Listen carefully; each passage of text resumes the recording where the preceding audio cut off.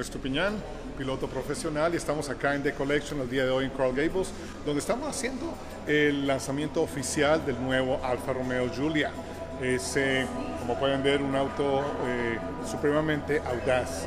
Es un eh, cuatro puertas sedán deportivo que tiene una fama impresionante en, Europa y por primera vez lo encontramos acá en, en los Estados Unidos y realmente va a ser impresionante lo que ese carro va a hacer para el mercado porque es un vehículo que por su precio ofrece mucho, mucho valor y tiene algunas características realmente impresionantes que van a competir directamente con muchos de los vehículos deportivos más avanzados y eh, más comunes que encontramos en el mercado de BMW, de Mercedes, ¿sí? Audi. Tenemos un competidor realmente fuerte con el nuevo Giulia. Tres modelos, el base, el Giulia TI y el Quadrifoglio que es el de alto rendimiento con 505 caballos de fuerza, o sea que ya se podrán imaginar eh, lo audaz y dinámico que va a ser Julia para este mercado. Y ahora pues los invitamos a que demos una vuelta y veamos eh, qué es lo que nos tiene que ofrecer el nuevo Alfa Romeo Giulia.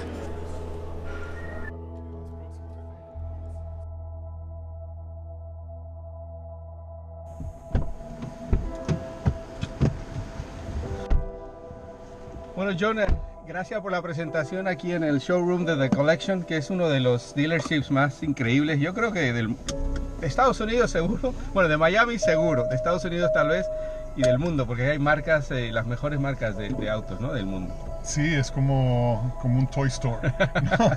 Eso es lo que dice, la diferencia de los niños y los hombres es el tamaño de los juguetes. Sí, el tamaño de los juguetes y acá tienen los más grandes, los más costosos. Así que John Estupiñán, eh, piloto profesional colombiano con quien hemos uh, hecho mucha, mucha experiencia y ahora este auto que en realidad lo acabamos de ver, eh, es, el primer fin de semana tengo entendido que está en exhibición aquí en The Collection y llama mucho la atención, ¿no? Oh, definitivamente. De hecho... Eh, las reservaciones que, que, hemos tenido para conducir el vehículo, puesto que hoy es el primer día que se lanza oficialmente acá en The Collection, oh, se ha llenado de una forma impresionante. Mucho eh, interés. Eh, y esta es una marca que se fue de Estados Unidos mediados de... Bueno, ¿por qué no salimos un poquito y vamos conversando del auto y de lo que es la marca Alfa Romeo? Una marca con una gran uh, historia, ¿no? Eh, y se, se fue de Estados Unidos porque obviamente en esa época, los finales de los 90, el producto no era, digamos que el mejor, ¿no? Correcto. Y tenían problemas con los dealerships, no existía algo así como The Collection. Eh, pero ahora han regresado y por lo menos yo ya tuve la oportunidad de manejarlo una vez en la, en la pista en Sonoma, en California. Y me ha llamado la atención que eh, cuando Sergio Marchioni, el jefe del grupo Fiat Chrysler, lo anunció, dijo que aquí no iban a cortar gastos por ninguna parte y de verdad que se nota, ¿no? Impresionante, sí. Diseño, calidad. El auto es supremamente atractivo inmediatamente, o sea que tú lo ves y, y es un auto eh, con unas líneas muy, muy audaces, estilizado. Eh, diferente, ¿no? Diferente, exactamente, robusto al mismo tiempo. Sí. Y, y eso es por fuera simplemente cuando lo abres, inmediatamente lo primero que, resalta es la atención a los detalles. Exacto. Sí, que es lo que realmente hace los autos italianos, ¿no? Es atención a los detalles, la calidad de los componentes que se usan y todo con mucho gusto, ¿sí? Y muy funcional aparte. Eh, y una vez que te sientas detrás del volante y empiezas a conducirlo, wow, es realmente impresionante el, el feel que tienes del auto. La ingeniería es muy refinada, ¿no? Totalmente, bien, bien refinada. Eh, Hay que recordar que Alfa Romeo es parte del grupo Fiat Chrysler, que a su vez eh, es parte de o Ferrari, es parte indirecta ahora porque es una compañía separada, pero algo de tecnología se empieza, compartir. empieza a compartir y a caer a los niveles eh, inferiores de, de, las marcas, ¿no? Sí, de hecho el motor, tanto el 2 litros como el 2.9, son, son motores donde los bloques son bases de, de Ferrari. De Ferrari, exactamente. Y bueno, hablemos un poco de eso, porque este auto tiene tres versiones diferentes, ¿no? En cuanto a la, al tren motor. Eh, bueno, el tren motriz realmente son dos, dos tren motrices que se comparten en tres eh, trims. Configuraciones. Ah, trims, ok. Trims sí, o configuraciones. Tienes el Julia, el base, eh, que viene con el motor 2 litros, 4 cilindros en línea 280 caballos de fuerza.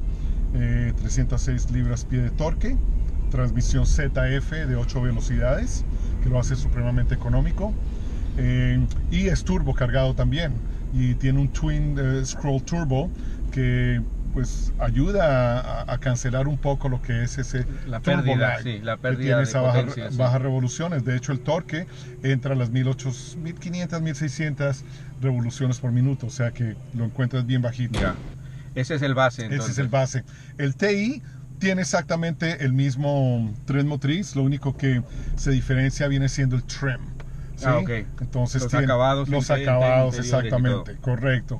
Y, y vienen obviamente sus diferentes packages. Claro. Tienes el Sports Package de 18 pulgadas, el Sports Package de 19 pulgadas, tienes el, el Static uh, Technology Package, que es básicamente toda la tecnología de, de eh, Forward Collision uh, Warning, la- de seguridad, de seguridad, exactamente, al Blind Spot sí. Detection System, el Cross Path Detection System. Unas tecnologías impresionantes que hace 5 o 10 años ni veíamos No y hoy casi ya no nos impresionan porque Todos los están en, autos de- en los autos base. Este auto empieza como en 37, 40 por ahí. 37 mil. Con ese paquete tal vez 40 digamos, pero ya, ya está incluido, es increíble, ¿no? Está incluido, o sea, vienen muy bien equipados Sí. realmente. Hasta sin esos packages, el auto viene muy bien equipado. Claro. Mm. Y entonces el top de, y, de ya, la línea. y ya entonces ya subes al cuadrifoglio, que es el motor eh, el de, de alto rendimiento, con un motor de 2.9 litros, doble biturbo, desarrollando 505 caballos de fuerza para un auto que pesa 3 3.500 libras, o sea, una relación de peso-potencia impresionante. Increíble, sí. y, y otra vez la ingeniería de cómo se, se maneja. Eh, aquí no vamos a poder ni de cerca poder eh, comprobar las características espectaculares de manejo que tiene, pero en realidad es, eh, la ingeniería se ve también ahí que ahí no cortaron gastos de ningún tipo. No, para nada. Y, y lo sienten mucho con, con Sí. lo sólido que el carro se siente. Claro. Cuando sales, eh, cuando estás Ahí mismo, mira, cruzando. acelerando a 40 millas apenas ya se siente una solidez en, en cuanto al- a la aceleración. Y todo. Exactamente, todo lo que es el tren motriz. Y entrando a las curvas, eh, es impresionante lo precisa que es el sistema de dirección. Dirección. Es un sistema de rack and pinion, Claro. asistido electrónicamente, pero ese sistema de rack and pinion te ofrece qué? Te ofrece esa precisión y ese feedback, esa retroalimentación que te da. Y tú como piloto sabes exactamente lo que eso significa, ¿no? No, por supuesto, ahí eh, inmediatamente. se ganan, se pierden las carreras, pero en la vida real también te permite eh, maniobrar cuando hay una situación, digamos, peligrosa o complicada. Tener la rápida. confianza de que te va a llevar a donde tú quieres que, que vaya el auto, ¿no? Correcto, y sobre todo cuando tienes que reaccionar rápidamente. Claro, Sí, que, puedes tener la confianza y la seguridad de que el auto va a, a reaccionar inmediatamente a cualquier input que tú tengas, bien sea eh, frenos o, o sea dirección. Claro. No va a ser Eh, inmediato. la otra cosa que llama la atención de este auto, que por cierto compite, como dijiste en la presentación, BMW Serie 3, Audi A4, eh, Mercedes-Benz C-Class, eh, los, por mencionar los, los alemanes, un auto italiano que no había en, la mar- en, en- en- en el mercado acá de Estados Unidos y un rango de precio también muy interesante, ¿no? Porque empieza 37, como me decías, y sube hasta 70 y algo por el cuadrofoglio. Correcto, eso es, eso es probablemente uno de los aspectos más atractivos del auto. Claro. su, su price range, sí, el rango de precio que tiene. Eh, y si nos podemos a ver el, el mercado automotriz, hoy en día no puedes conseguir un auto por debajo de 50 mil dólares que te ofrezca las prestaciones que ofrece el Julia. Una, una construcción eh, que es mayormente de aluminio, comparte también algunos componentes de fibra de carbono. Claro, en, Sí, el, ejemplo. en el cuadrofoglio o en todo. En todos. Ah, ya. Todos. De, de- de hecho, el drive shaft de todos es de, Ah, wow. de- de fibra de carbono. Ok. Sí, tracción trasera es el estándar, es la eh, layout eh, Claro. base, pero también tienes disponible un sistema de tracción en todas las ruedas, obviamente basado en un layout de tracción trasera, dejando que las- la tracción en, las, en el tren delantero entre de acuerdo a la necesidad. Claro, que lo va haciendo con cálculos eh, de milisegundos, ¿no? O sea, Correcto, otra tecnología exactamente. Entonces, en los autos son, son eh, o una ingeniería que te ofrece Julia que no lo encuentras en ningún auto de 40 mil dólares hoy Claro. en día. Tienes que irte a los 60, 70 mil dólares, entrar casi que a los rangos de los de la serie M, ¿sí? de la serie AMG. Claro, sí, Para- los, los de altísimo Correcto, desempeño, para sí. poder entrar a lo que es eh, el el- los refuerzos que tiene la carrocería. Claro. ¿sí? El desempeño que tiene la suspensión. Suspensión independiente eh, en las ruedas delanteras eh, con eh, doble eh, eh, horquilla ¿sí? Sí. y multi-link en la, en la suspensión trasera. Impresionante el auto, la verdad. Como decíamos, Alfa Romeo está volviendo aquí a Estados Unidos de la mano del grupo Fiat Chrysler. Y me imagino que como aquí en The Collection en Miami va a haber eh, nuevos ah, dealerships con cierto nivel de lujo, ¿no? Porque este es un auto eh, en realidad de lujo, es, es por lo menos este modelo. Sí, el- la idea es posicionar el Giulia y en sí la marca Alfa Romeo como un prestige brand, sí, una, una marca de prestigio, de alto prestigio. Y, y la verdad es que el cliente tan pronto se sube al auto, Inmediatamente percibe que Claro. sí, es un, un auto de alta gama. Claro. ¿sí? No vas a encontrar, eh, no vas a tener ruidos de que pasas por... Y la solidez de todo cuando desde que cierras la puerta se siente eso. ¿no? Correcto, lo sientes inmediatamente y eso es donde realmente se puede determinar la calidad Claro. del producto. Otra cosa, los materiales, por ejemplo, las paletas de cambio aquí detrás del volante, que uno la toca están frías. ¿Por qué? Porque son metálicas. Correcto. No son de plástico como ocurre con otros autos. Tiene, como Exacto. decía aquí, detalles de fibra de carbono. Así que un auto súper completo. Esto también me gusta cómo lo integraron aquí de uno. Muy lindo. sin- No, y sobre ninguna- todo, y sobre todo que no tiene un resemblance a los, a los sistemas infotainment que Claro. está usando Chrysler, Fiat. Exacto, es una, una cosa separada. Exactamente, completamente, porque si tú, si tú conoces las marcas, inmediatamente te das cuenta que sí, hay Eh, componentes. Eso, exacto, eso es también lo que, lo que punto en el que dicen que no cortaron gastos en nada, porque podían haber usado cosas de otras marcas, pero no hay, no hay nada de Chrysler, no hay nada de Fiat, Exacto, no hay nada de Lancia, no hay nada de nada. Y si hay, y si hay es Muy por debajo que no lo vas a por debajo de la, de, yeah, under the skin. Pues John, eh, este es un test drive, el típico más o menos que hacen a los clientes cuando vienen a ver eh, Sí, por primera vez. exactamente. Les damos una vuelta de más o menos unos 15 minutos. Claro. Que tengan la oportunidad de hacer preguntas, que tengan la oportunidad De sentirlo, ¿no? de sentir el auto. Eso es lo que queremos, que sientan el auto, porque van a inmediatamente van a darse cuenta de que el auto es diferente, que realmente resalta.